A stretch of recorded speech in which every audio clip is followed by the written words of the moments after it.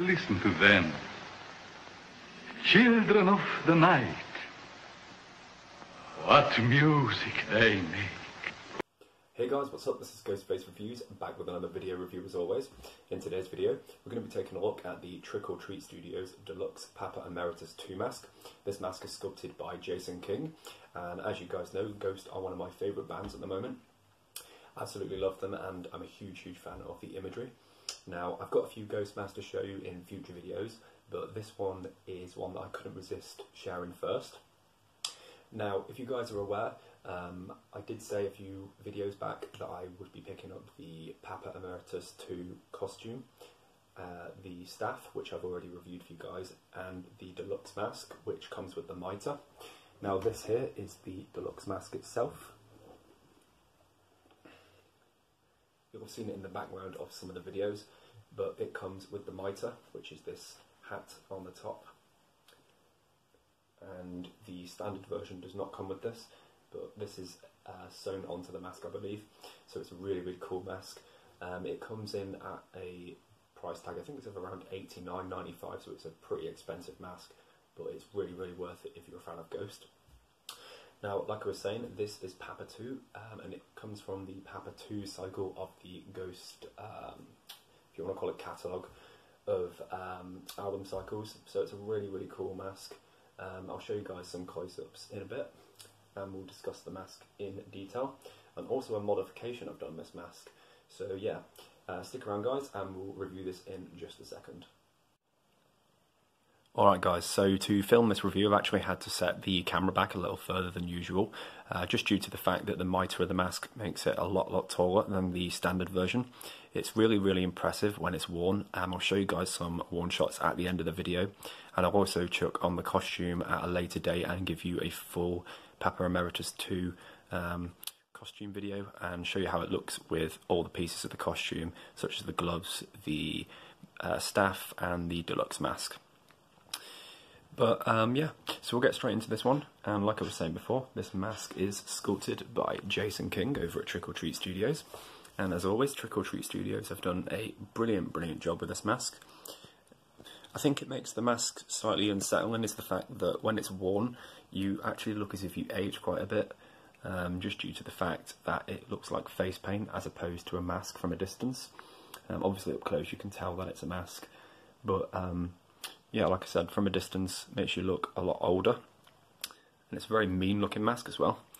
There's a lot of sculpted um, wrinkles in the mask as well, giving it a very skin-like appearance. Now the face paint and imagery that Ghost have always used has really, really reminded me of Misfits, the band, if anyone's heard of them. Um, they're one of my favourite bands as well, so I absolutely dig the imagery that Ghost have chosen to go with. Now this is a mask that has quite a long neck as well, so it covers your neck while you're wearing it, so you don't have to worry about skin showing, and this just tucks underneath the collar of the costume, which I'll show you guys in the full costume video. Now the mitre on this mask has the embroidered ghost crucifix logo, which is really, really cool, and this uh, these cloth parts also have the crucifix logo printed onto the back of them which I'll show you guys when I turn the mask around in just a second. But the mitre itself is pretty high quality. Um, it's soft, it's not actually latex or any type of other material like vinyl. It's actually a full cloth piece, which is really, really cool that they added this, but obviously bumped the price up. Um, but I'm really happy with it. I think it's going to look absolutely insane with the costume, which I actually have to the left of me, which I'm going to review at a later date for you guys.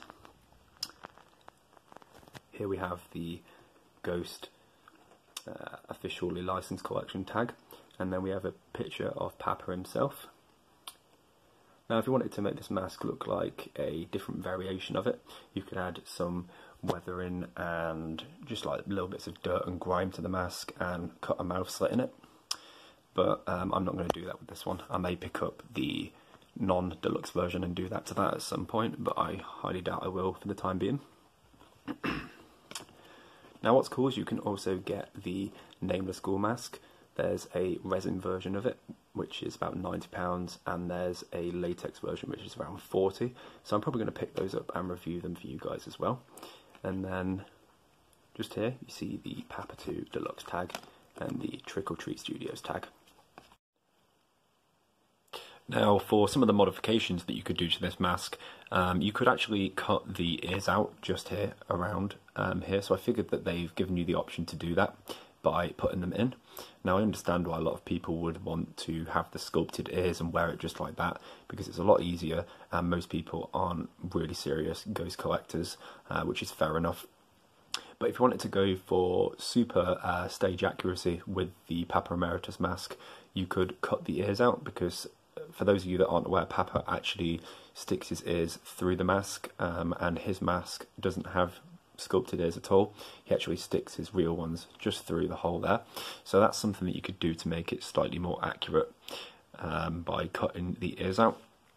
The other thing you could do is cut a slit in the mouth just for a bit more um, accuracy as well to the stage used mask just because Papa needed the mouth to be open obviously so he could sing um, and then I'll show you guys the one modification that I've done to this mask. Um, and that is I've actually adjusted the back of the mask using Velcro just down here because I was finding that the neck of the mask was very very wide and it wouldn't sit properly and it looked quite strange on my neck when I was wearing it with the costume. Um, so what I did was I added Velcro pieces to the bottom of this part and then the back of this part so it pulls the neck of the mask together so that it fits nicely and actually um, hugs my neckline. Um, I did it custom, uh, a custom job on it, sorry, so that it would um, fit me personally. But obviously for other people it would be a different um, width and whatnot, so you can play with that. Um, if you guys would like to see a video on how to do that, um, be sure to let me know and I'll make one for how to adjust this part of a mask, especially from Trick or Treat Studios. It works really well on Michael Myers masks and I'm going to do it to the They Live one for a tutorial if you guys would like to see that. So be sure to let me know in the comment section down below. Finally, moving on to the back of the mask, we've got the cloth drapes that I was telling you about.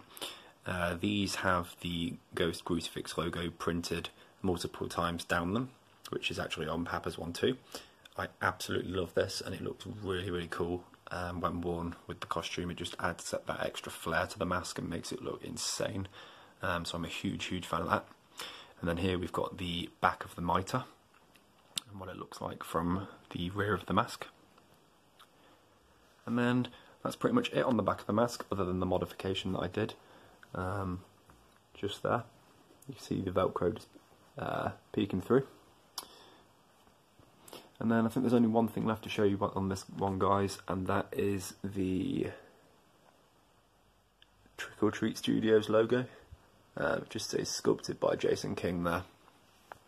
So yeah, guys, I hope you enjoyed um, taking a look at this mask. Um, I'll be sure to post some worn shots of it in just a moment.